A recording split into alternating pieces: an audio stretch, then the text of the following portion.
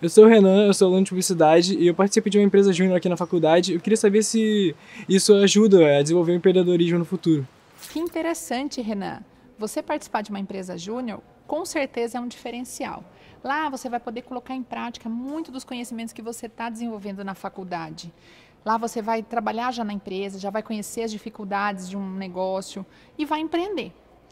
Os currículos nessa faixa de trabalho, quando você está estudando, são muito parecidos. Então, faixa etária, é, é, estudo que vocês têm, até os conhecimentos extracurriculares.